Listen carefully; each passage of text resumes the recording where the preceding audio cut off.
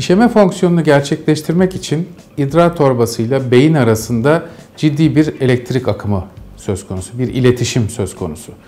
İdrar torbası beyne bir dolması ile ilgili sinyal yollaması gerekiyor ve beynin bunu kontrol etmesi gerekiyor işemeyi başlatabilmemiz için. Beyinde bulunan işeme merkezi adı verilen bir merkez normalde idrar torbasının kendi kendine çalışmasını engelliyor. Dur, kasılma, dur, kasılma diyor.